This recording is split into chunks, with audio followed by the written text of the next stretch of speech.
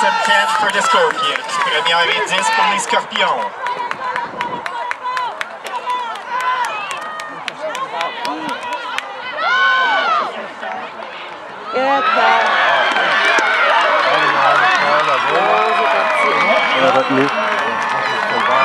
Touchdown Scorpion!